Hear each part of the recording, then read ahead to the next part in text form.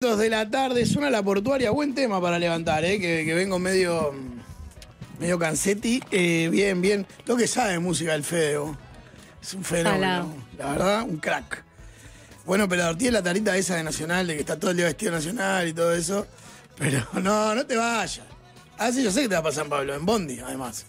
Está loco, está todo loco. Está bien, Gonzalo. Es la juventud joven. también, claro. Trein- 30 horas, ¿cuánto es?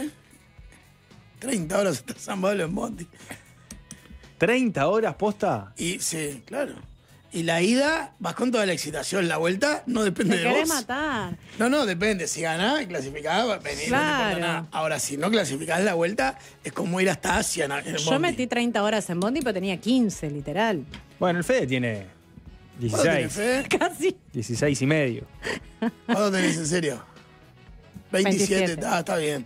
Yo fui a Curitiba en Bondi, a Asunción en Bondi, a Santiago en Bondi. Se hace. Sí. La vuelta. Si Nacional queda eliminado, pero clasifica al Mundial de Clubes o da ese paso de sacar el punto que necesita para el Mundial de Clubes, ¿cómo se vuelve? No, Mal. no, si quedás afuera, volvés quemado. O sea, si, si clasificás, el viaje de 30 horas se hace de 10. Si quedás eliminado, se hace de 90. No Son hay como mundial, 90 horas no hay mundial de Clubes que atenúe eso. Esa la pensarás después, supongo, pero en el momento estás Claro. quemado. Igual no jodes a nadie, eso está bueno también. Bueno, No, pues, no es opción ahora. Y no le rapes mucho los huevos a tu familia, ¿viste? ya, ya lo hicimos Lo hablar. único que se sabe es que volvés borracho.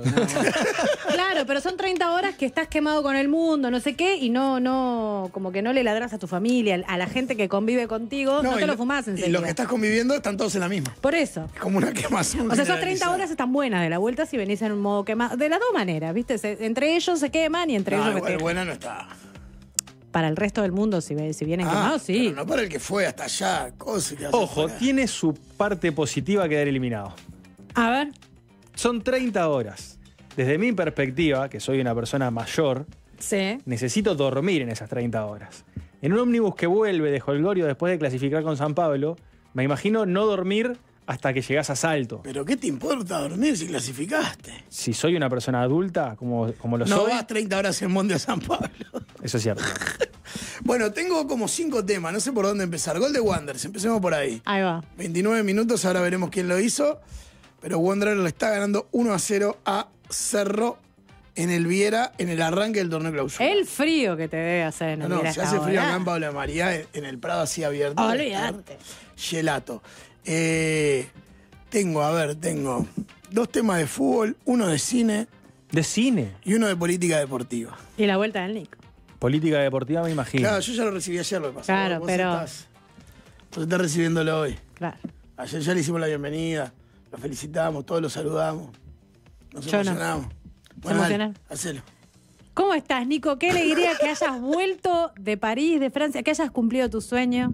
Eso me alegra un montón. Gracias. Que hayas gracias. cumplido el sueño de ir a París, encima en Juegos Olímpicos, encima que hayas leído eh, Rayuela, donde la querías leer. Exactamente. Todo que hayas es- encontrado tu milanesa sobre el final. La encontré, era una milanesa en- de España. En Barcelona, muy, ¿no? En Barcelona, muy finita, pero, pero se encontró. Todo salió redondito, Vicky. Viví como un sueño que está, que estoy... Ahora parece como que lo hubiera vivido de verdad, pero yo sé que, que, que fue un sueño.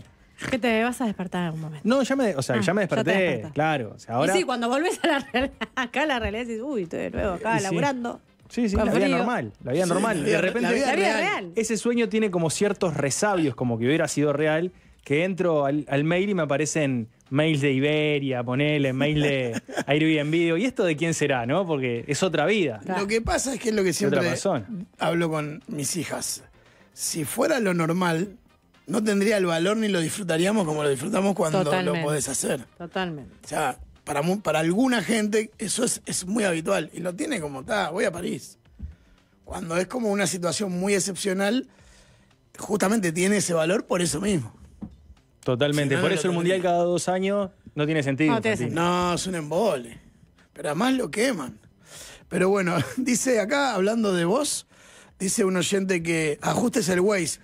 ¿Por qué ruta venís? Viniendo de San Pablo nunca tocas salto, dice alguien. Bueno, nada, un decir. Por Rivera, Rivera. Agarrás por el litoral, bajás. Bueno, el bondi de él justo va para, el- para el lado de Salto y vuelve. Claro, cuando llegás ahí a la triple frontera, en vez de agarrar para. Se va para otro lado. Vas para ¿Por otro qué, lado. ¿Para qué vas a ir a la triple frontera? Si no vas a ¿Y por qué no? Y se te- van a ser como 60 horas si seguís agregando. es un viajecito más ahí.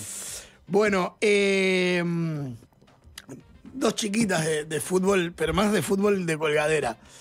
Dos, dos cosas de, la- de las últimas horas que me parecen que, que me llamaron la atención y me parecen interesantes, que yo creo que nosotros estamos lejísimos todavía, pero que empieza a ver o a mostrar cómo la tecnología se nos mete cada vez más también en el fútbol. Uno, el, el anuncio de la UEFA de que el sorteo de la Champions, de la fase de grupos, va a ser por primera vez eh, a manos de un software que va a definir digitalmente quiénes van a ser los rivales de grupo. No va a haber más pelotita con papelito adentro, con exjugadores sacando la, el papelito, ni, ni bolillas frías ni calientes. Habrá que tener un ha- se le echará la culpa al hacker ahora, si al Real Madrid le toca un grupo papa. Pero me pareció una noticia interesante. Va a haber una pequeña parte todavía analógica, así decía la noticia de la UEFA textualmente, pero va a ser muy pequeña y casi que para vestir, la gran mayoría la definirá un software de forma digital. Perfecto.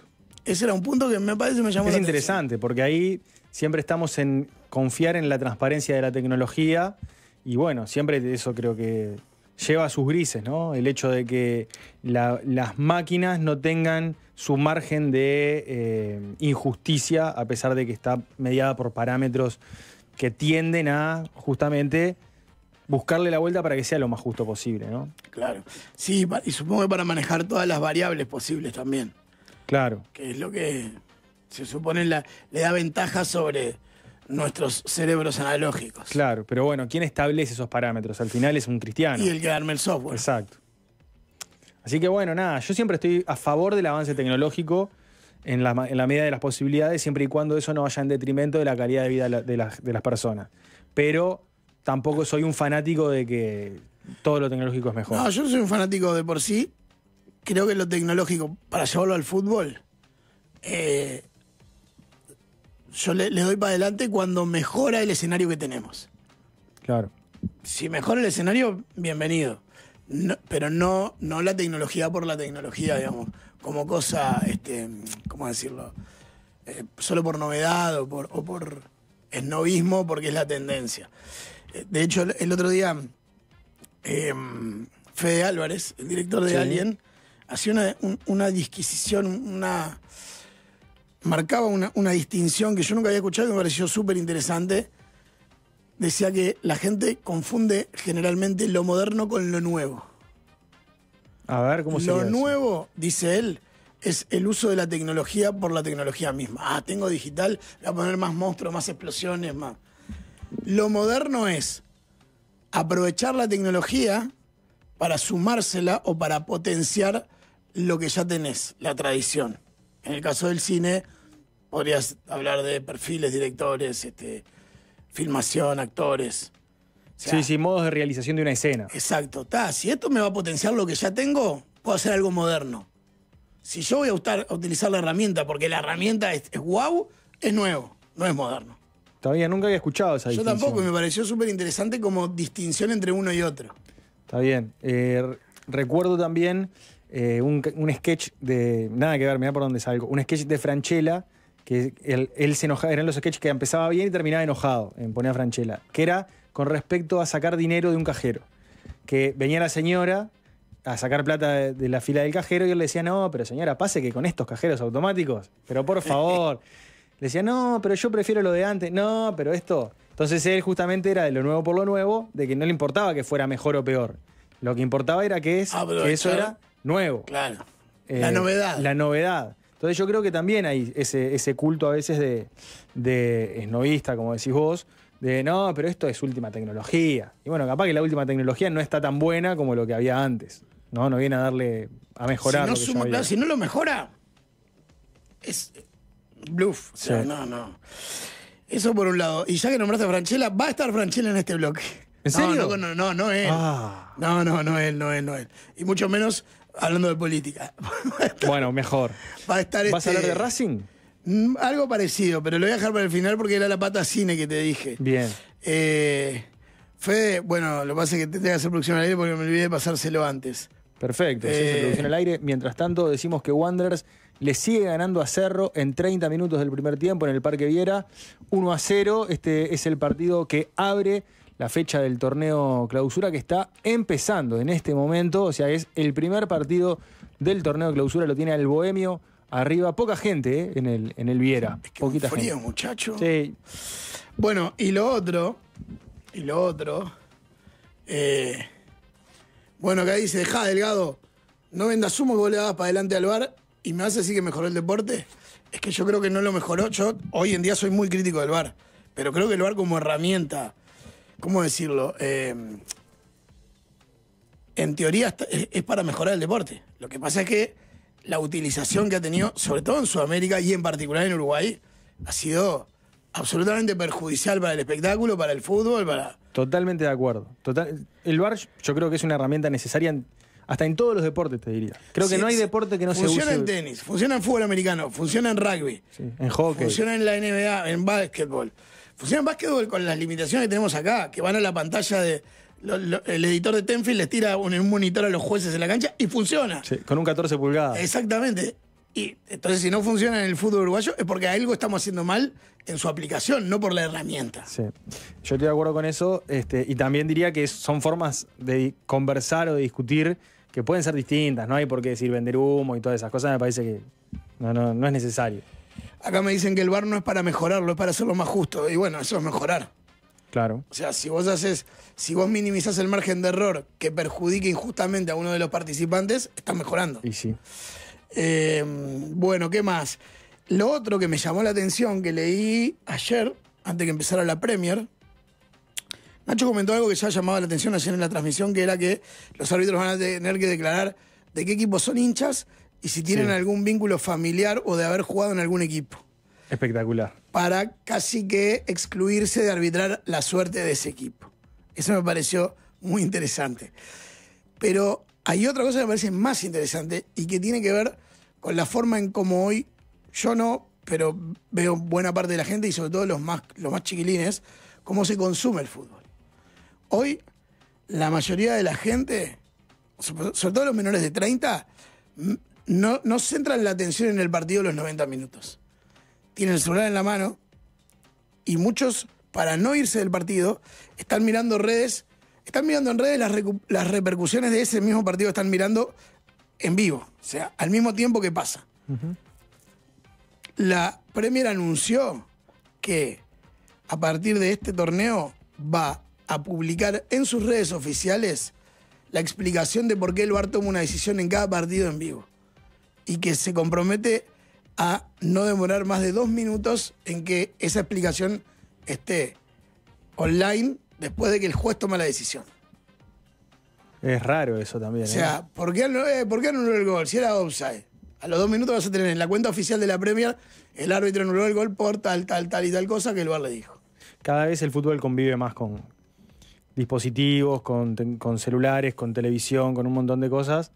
Y, y va perdiendo, me parece, lo espontáneo también, ¿no? Ahí yo creo que hay una, una, una circunstancia que, que sí lo hace un poco peor. Porque a mí me interesaría que lo que ocurra, ocurra dentro de la cancha. Que el juez explique dentro de la cancha. Che, es por Sí, eso. eso pasó en los juegos y pasa en algún- ya pasó en alguna liga también. Claro. En algún mundial juvenil. Ahora En los, que no mun- lo- en los mundiales ha pasado. En el Mundial Sub-20 pasaba. ¿Te acordás que, el árbitro italiano, en vez de, el árbitro el sueco, en vez de echar al italiano, fue y dijo no roja porque con Sí, una patada bárbara? Bueno, Bueno, eso en, el- en la NFL pasa, en el fútbol americano pasa hace años. claro, en el hockey también, pasa en, en los deportes. A mí me interesaría más, me gustaría más eso, que, que pase en, en la cancha. En el rugby también, dice Rama. Sí, yo lo que creo que ahí, más que una respuesta de aplicación tecnológica al deporte, para mejor o para peor, yo creo que ahí lo que se intenta es eh, ir en, en la corriente de las nuevas formas de consumo del producto. O sea, está más pensado para los que consumen el producto fútbol fuera del estadio que para darle transparencia o justicia al, al juego. ¿Me explico? Sí, me da esa sensación es, ta, si los guachos están mirando el celular en Twitter y comentan el FAO y miran la falta en la no sé qué en el recorte Y bueno, van a mirar, van a seguir más gente en nuestra cuenta porque va a estar eso. Sí, bueno. Ah, mí y- tiene que ver con, la- con la forma de consumo de- del espectáculo y no con la justicia deportiva. Pero ahí dijiste algo interesante y es que la gente va a seguir más nuestra cuenta o con mi cuenta, que eso me parece que tiene que ver también con lo mercantil, con cómo el fútbol abre una nueva pata de mercantilización a partir de ahí. Y yo creo que todo lo que ocurra en el fútbol que vaya en favor de lo mercantil y sacándole peso al juego, como en este caso ir a la cancha, que forma parte del espectáculo, de lo cultural del fútbol, a mí me hace un poco de ruido siempre. O sea, que, que- que se aleje lo futbolístico y se acerque a lo mercantil. En este caso es que que ocurre. a esta altura, más allá de que nos guste o no, estés de acuerdo o no, es imposible, eh, sobre todo para algunas ligas, su público objetivo, que es el que monetiza su negocio, digamos, es mucho mayor fuera del estadio que adentro del estadio. No, eso siempre. Sí, sí. Entonces, en realidad, ah, supongo que los tipos atienden esa franja de mercado que es la que genera la diferencia en el consumo, Pero la es que pagan los derechos, la que... Totalmente así. O sea, la gente que va a los estadios cada vez tiene menos derechos y menos, eh, ¿cómo decirlo? O sea, cada vez es peor el, eh, el servicio de la gente, para la gente que va al estadio y cada vez es mejor el servicio para la gente que se queda en su casa, viéndolo por la tele, en este caso de los servicios. Ayer, eh, las redes, ayer veíamos cómo, después de que terminó el partido de Nacional San Pablo, la gente de San Pablo, nosotros terminamos la transmisión, terminamos todo, no fuimos, y seguían en el estadio pasando frío. Gente que hizo no sé cuántos kilómetros de San Pablo hasta acá, las 30 horas esas que, que van a- que va a ser Fede, a los hinchas de Nacional le va a pasar lo mismo cuando vayan al Morumbí, Sí, Eso pasa de visitante en toda América. siempre, y es maltratar a la gente, a esa gente, y encima después que salieron, salieron, y yo los vi, me los crucé, ningún cordón policial, ni nada, ¿viste? Salieron, estaban los hinchas de Nacional ahí, que le gritaban cosas, o sea, es- se cuida poco al espectador en, en los estadios. Se cuida muy poco. A menos que vos pagues un, es- un- un palco, que pagues una butaca, que pagues esto, se, cuida poco al espectador. Bueno, ahí hay dos puntas. Una yo creo que es que, para mí, el problema es que, obviamente, joroba al visitante, para mí es el mal menor. O sea, yo creo que la, la actitud anterior de sacar a los visitantes y dejar 45 minutos de los locales era mucho peor que esta. Primero porque es más gente y es más tensión y es más riesgoso. Y además porque yo creo que hay como una cosa ya asumida, el otro día yo lo hablaba con el ceño, que es que el que sabe, volvemos al ejemplo de Fede, el que va de visitante a ver a su equipo en la Copa Libertadores, sabe que el día entero va a estar destinado a eso. Que va a estar en un punto de encuentro cinco horas antes del partido, que lo van a meter al estadio tres horas antes del partido y que lo van a sacar una hora después del partido. Entonces, yo creo que el que va de visitante va a eso, sabe que son las reglas del juego. En cambio, cuando vos trancás al local, tran- me parece a mí, no solo trancás más gente y corres más riesgo de, de presión, de violencia, de, de mal clima, sino que además trancás la, la vida de gente que está haciendo su vida cotidiana. Que al otro día tiene que ir a laburar, que al otro día tiene que llevar a los hijos a la escuela, que tiene que llegar a la casa a cenar. Me explico para mí cuál, por qué es el mal menor retener al visitante. Y yo creo que lamentablemente la vida nos ha demostrado que no pueden salir juntos. Después que no los cuiden cuando salgan, sería un error que va por otro carril, no por la decisión de que no se crucen, ¿me explico? Por realidad es contradictorio con la idea de que no se crucen. Si no, lo- pero en Montecasero 11 se cruzaron todos. pero por eso te digo, si vos los guardás en la, en la tribuna una hora más para que no se crucen y después se cruzan, algo falló. Pasa que esto, yo entiendo lo, que- lo que vos decís y estoy de acuerdo, pero también es cierto que la gente de Nacional es de, es de la blanqueada. Y se sale, y sale del estadio, y después del partido, hay, no te digo toda la gente, pero gran, una parte, qué sé yo, mil personas, ponele, de, de todas las que fueron ayer, que se quedan ahí, o sea, haciendo sociales, con los Sí, amigos. Generalmente pasa después de los partidos. Entonces, eh, con esa gente sí se va a cruzar. Ah, pero igual lo de ayer es raro, porque generalmente a los visitantes se los llevan hasta el estadio, no sé, hasta el punto de encuentro original. No, se cruzaron ahí en Montecasero. Por eso, pero eso fue ayer. Yo, capaz que tuvo que ver con la teórica buena onda que hay a través, a partir Puede de ser. Lugano, entre San Pablo y Nacional. Puede ser. Pero yo me acuerdo cuando viene Boca, cuando viene River, cuando se lo llevan a un punto lejano, todos juntos, y ahí sí, ahí está, manejate. Como que se lo saca del foco de concentración. Pero de verdad que me parece que es, es mucho peor dejar al locatario que dejar al visitante. Yo no sé, capaz que sí. Creo que debería hacerse, se debería pensar más en cómo cuidar al espectador y no se piensa en eso. Estoy seguro que no se piensa en eso. Pero yo creo que se No debería- se importa, dejar a los de San Pablo de Nacional tres días ahí, no pasa nada. Si vinieron para eso. Que yo creo que está mal. O sea, el hecho de que ellos hayan ido a sabiendas de que la iban a pasar mal en algún momento, no justifica que la pasen mal. Me parece que, que quien organiza el espectáculo eh, debería concentrarse en, che, a nosotros nos interesa que las tribunas estén llenas. Bueno, vamos a garantizar las condiciones para que las tribunas estén llenas y que la pase, que la gente venga, disfrute, la pase bien y, sea un espectáculo que- que no conspire contra, contra el hincha. Y yo creo que no pasa solamente en Conmebol, pasa también acá en los escenarios del fútbol uruguayo mucho. Y, y nada, parece que, que es como también una tendencia, ¿no? Importa cada vez menos la gente y cada vez más el, el click y la Yo- gente que lo mira por la tele. Sí, yo no, no estoy tan de acuerdo en que, en que sea por eso de fondo. Yo lo que sí creo es que el fútbol uruguayo, si vamos al ámbito local, le falta mucho en cuidado del espectador, pero no porque los dejen una hora adentro, por las instalaciones, por los baños, por los servicios que te dan adentro de la cancha, por cuánto vale la entrada en relación a lo que te ofrecen. Ahí yo sí estoy de acuerdo con contigo, pero ni siquiera creo que tenga que ver con un pensamiento, que haya una intencionalidad en decir, no, vamos a preocuparnos por el que cliquea y no por el que va a la cancha. Creo que, que ni siquiera se llega a ese grado de especulación o de razonamiento, Yo me parece. Tengo una idea en relación a- al fútbol uruguayo y la forma de acceder a las entradas que ha conspirado abiertamente contra la concurrencia de la gente, porque la gente, si bien antes de que se vendieran las entradas eh, por las redes o por lo que sea, no iba tampoco masivamente, sí había una cultura de mucha gente de ir al partido que te quedaba cerca, de ir al partido lindo y de resolver eso en el día. Y esa gente fue excluida a partir de todas las restricciones que hay para sacar entradas. No, pero eso, eso ya cambió, ¿eh? ¿Cuándo? Vos ahora podés ir sacarla 10 minutos antes de la entrada. Claro, pero la sacás por, por, Por digital. por digital. Ah, bueno, pero eso es. O sea, pagás las cuentas por digital. Yo sí, pero hay mucha gente que va al fútbol que no accede a eso. Mm, Te yo digo, ahí- mi, yo ahí- viejo, mi viejo tiene 70 años y le tengo que hacer yo todo lo digital. Él Ah, capaz que un día se levantaba e iba, e iba a ver un partido. Yo ahí tengo un matiz. Para mí era mucho peor el sistema de sacar en, en- en boletería en el estadio que, que- que el digital. El digital facilita todo y te digo más, es mucho más seguro.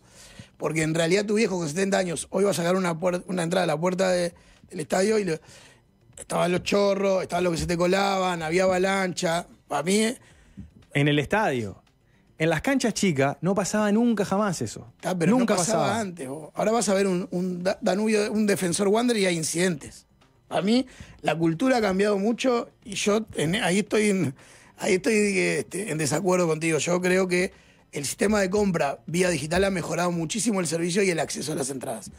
O sea, yo la miro al revés. Toda la gente que no estaba dispuesta a hacer una cola, a que lo empujaran, a que pasara, le, chompearan la billetera, a que le ganaran el vuelto, hoy se hace un usuario y saca una entrada. Yo creo que eso pasaba en muy poquitos partidos.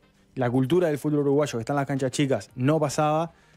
Hay excepciones de que, sean, de que ha habido incidentes, sí. O sea, había incidentes, en la década del 60 también había incidentes de- en esos partidos de forma aislada, pero la gente que iba a ver el partido lo veía sin ningún problema.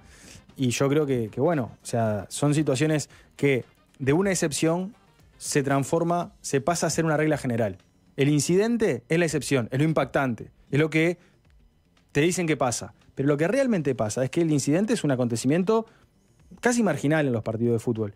Y por ese acontecimiento casi marginal se transforma todo un sistema que mercantiliza el sistema de venta, que hace más engorrosa la situación para mucha gente que, eh, Yo creo que para. es más grande. ah, por eso ese es mi matiz. Yo creo que para la mayoría de la gente lo hace mucho más práctico, no mucho más incómodo. Yo capaz que soy un queso con las tecnologías, entonces, pero O sea, me he quedado fuera de partidos de, de Liverpool por sí- esto, mirá. lo que sí me parecía mal, cuando recién se instaló el sistema, era que vos podías comprar, creo que era hasta 24 horas antes. Una cosa así, era como. Mm. Estaba todo mal. Y tenías que ir en presencia a la red, no podías. Eso sí me parecía que entorpecía y corría al espectador. Yo creo que la, digitali- la digitalización hace mucho más práctico, mucho más fácil conseguir la entrada y además para la mayoría lo hace más amigable para ir a la cancha que hacer una cola o ir a un local y sacarla y uy, no traje la cédula. No, tenía que presentar la cédula. Creo que está suficientemente discutido el tema, se vota. No, no tenemos que ponernos de acuerdo, pueden ser visiones. Sí, sí, Yo creo que en general el- el- el- la compra de boletos vía digital para cualquier espectáculo ha hecho más amigable y más accesible para el espectador medio o para la mayoría un recital como un partido de fútbol. Un recital puede ser, para mí el fútbol por cómo estaba concebido en la cultura uruguaya, trastocó todo eh, y empeoró esa, esa- esa cuestión de ir a la cancha. Yo creo que, que la. El fútbol uruguayo es un fútbol, sobre todo de los cuadros chicos, es un fútbol de veterano. La gente que va a ver a Wander, que va a ver a Liverpool, que va a ver a River, son gente veterana. Y la verdad, le complica las cosas sacar entrada por digital. Les complica. Está, pero una cosa es que complica un grupo etario. Pero no es un grupo cualquiera, Pará, ¿eh? un grupo etario concreto y otra cosa es que yo creo que a la mayoría le, le facilita el acceso, no se lo empeora. Yo no sé, no sé si a la mayoría. Para mí es mucho, mu- o sea, es mucho más atendible que me digas vos, ese veterano va al baño y el baño no, no está ni ahí. Pero- o quiere comprar un café y es una tranza. Por supuesto, no es una cosa o la otra. Yo estoy de acuerdo con todo el paquete. Que hay que mejorar las instalaciones, que hay que mejorar la visibilidad de las canchas, que hay que mejorar el lugar donde te sentás en la cancha. Todo eso yo sí creo que hay que mejorarlo y también creo que hay que favorecer el acceso a la cancha y que hay que bajar los precios de las entradas y que hay que habilitar a que los pibes del liceo y de la escuela del barrio vayan y entren gratis y que no haya tanta medida de seguridad que al final no resuelve nada, porque si el que está en la tribuna le quiere tirar un cascotazo al árbitro, se lo tira. Entonces, esa cuestión de terminar por el camino de la mercantilización a partir del argumento de la seguridad, yo no estoy como muy... No, pero ahí ya te fuiste a otro tema. Yo creo que. Pero eso de las entradas, viste que La- vino por ahí. Yo creo inicialmente empezó por ahí. Pero en realidad no empezó digital. Eso no fue la digitalización. Eso fue. Tenías que ir con tu cédula a las redes a comprar el- la entrada. Mm. Y dar tu nombre y tu cédula. Yo lo que digo es que para mí la digitalización del acceso a las entradas has- ha mejorado el acceso para la mayoría de la gente. Y ahí no, no hay mercantilización. Seguramente haya Sí. un provecho mercantil de. Ta, pero en realidad, entonces, si, si, es, si es un provecho, es porque mejora y va a generar más compra. Bueno, no, no siempre. Bueno, entonces No no, es, entonces no tiene una visión mercantil. Sí, No o sea, monetiza. Sí, sí, o sea, la- monetiza porque estás obligado a sacarla por ahí. La gente no elige sacarla en la puerta o sacarla por pero ahí. si venden menos entradas, no, es negocio. si vos para el, que no, mercantilizar. para el que no sacaba un peso de la venta y ahora por meterse en el negocio saca un peso, ya hay negocio. Habitat antes, por ejemplo, no estaba en la venta pero, de entradas. pero eso no lo decidieron las redes, lo decidió la AUF con el Ministerio del Interior. Bueno, no importa. O sea, el que se beneficia es un tercero que no estaba sacando tajada. Y... No, pero lo que pasa es que se beneficia un tercero porque el, el que vende el servicio originalmente considera que se, mej- que, que se beneficia más con ese intermediario, incluso que sin ese intermediario. Si no, no lo hace. Consideran eso. Y yo creo que, y yo creo que les pasa. Y bueno, está. Yo creo que no. Yo creo que no. Pero bueno, hay millones de mensajes. No llegué ni al tema 2 ni al tema 3. Pero, y tenía- teníamos que hablar de Franchella, oh. Eh, dice. Estoy con Nicolás, tengo 46 años y si bien antes concurría poco a las canchas, ahora ni en dope hago una trance electrónica. Está bueno, pero tampoco lo haces entonces para pagar una cuenta o para ir a un recital. Yo creo que es distinto. Yo creo que es distinto. Eh, todos los cuadros tienen la misma empresa para la compra de entradas, no. Ah, no todos los cuadros, es verdad. Yo lo sufrí el año pasado con defensor de local. Tenía solo venta por internet y solo hasta el día antes. Alejaron a la gente de las canchas con la excusa de alejar a los violentos. Dice Jorge de la Guada. Sí, eso es verdad. Cada, equipo elige cómo trabaja la venta de entradas. Pero yo creo que ahí no le puedes echar la culpa a la red. O sea, ahí el que elige es el que genera el servicio. O sea, vos, defensor, elegís tal red y bueno, está. Si, si no funciona, cambiala, yo qué sé. Este, yo, con, yo con 23 años fui a Salvador de Bahía en Bondi. Entre ellos con Pedro Alton y el Topo, cuando arrancaban los buenos. 72 horas en Bondi metimos. Ah, no, nunca llegué. Creo que lo más. 72 son tres días. Sí, creo que lo más que hice fue 30, ponele, 30 y algo. Eh, la digitalización a los ac- de accesos ha mejorado, por ejemplo, evitar el tema de la reventa. Es lo único bueno que se ha hecho en los últimos tiempos en el fútbol uruguayo. Ahora las entradas las compras en la comodidad de tu casa, tranqui, uno o dos días antes. Después, si el día del partido está frío, vas igual muchas veces porque ya la tenés. Si tuvieras que ir a sacarla, ya no ibas. Esa es la otra cara del que decide ir en el día, dice. Eh, discrepo contigo, Gonza, para sacar una entrada ahora te piden número de celular, un mail. De pedo no me piden cuánto calzaba mi tatarabuelo. Gonza, tu tocayo de Paysandú. Sí, sí, pero mirá que para sacar, yo fui el otro día fui a ver a, los cuñados y me pidieron la cédula también. O sea, no es una cuestión de- del fútbol. Es el sistema este de venta. No, es, es de cualquier comercio, los supermercados, o sea, lo- lo- las bases de datos valen plata. Entonces, cualquiera que te vende un servicio, sea un supermercado, sea una red, sea lo que sea, te pide los datos. No, por eso. por eso. Cuando entras a internet, toda esta gente que está escribiendo por WhatsApp le dio a aceptar a las condiciones de WhatsApp. o sea, no, lo que digo es, es, e- ese sistema de pedido de datos está generalizado en el mundo y en todos los servicios, no es el fútbol. Eh, no solo es complicado para los veteranos como yo, al momento de ingresar con lo que tenés que presentar en un partido no me dejaban entrar porque me faltaba no sé qué, ya ni me acuerdo, dice este otro. Eh, decía la gente que no va a la cancha porque ahora se transmiten todos los partidos, no por el precio de las entradas ni por el acceso. Hay que dejar de soñar con el país analógico, este es otro mundo, dice. Eh, no se puede decir que sacar la entrada por una cola era mejor que en una web, dice este otro. Eh, el, de el del programa. Eh, ya lo voy. Un teléfono de línea llama aparte. ¿eh? Y nos deben querer vender algún servicio, como por ejemplo un servicio de venta de entradas. No porque es un teléfono de línea.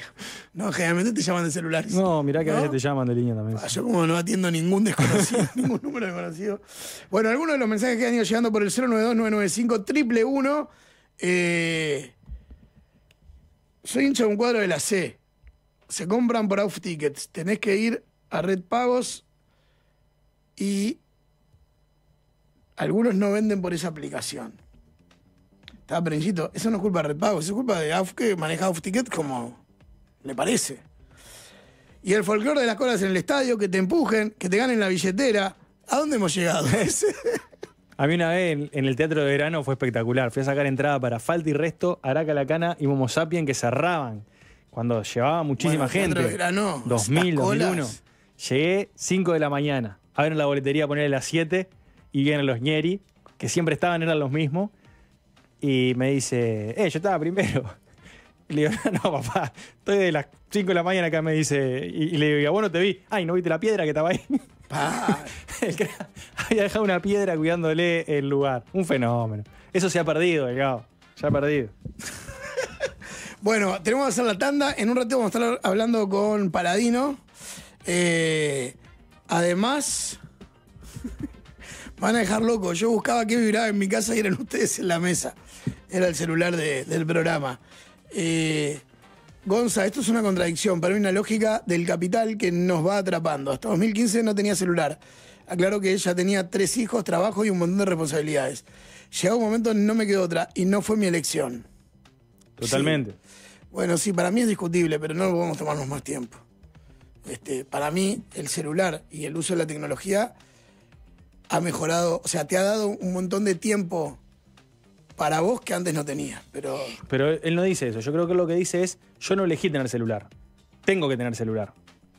Tuve que entrar a pesar de que, ¿se entiende? O sea, vos en este mundo no podés elegir tener o no tener celular. Ya está. bueno, tenés celular. podés elegir estar incomunicado.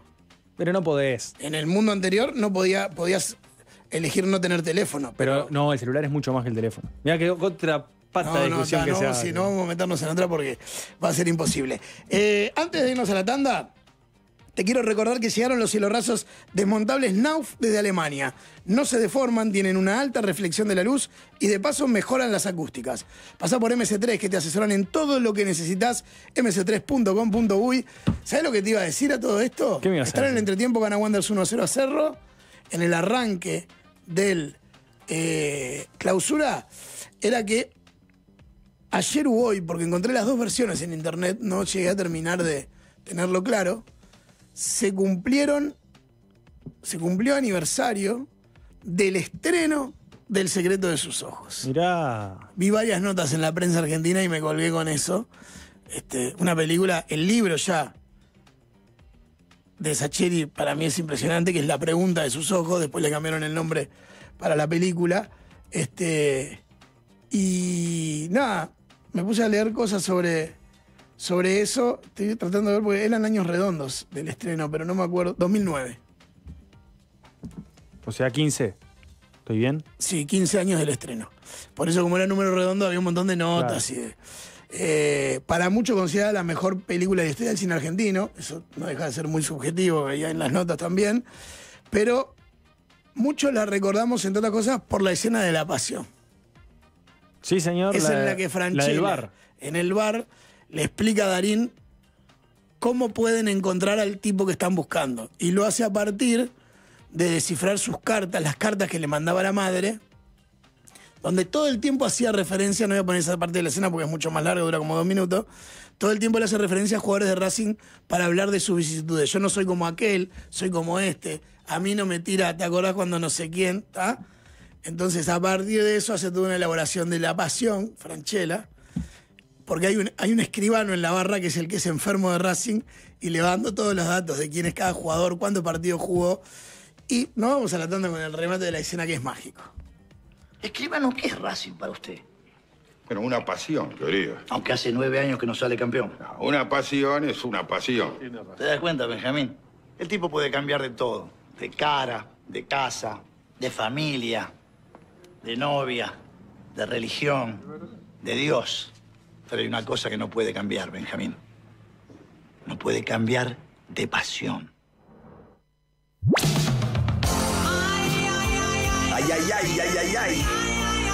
Si no lo sentís, no lo entendés.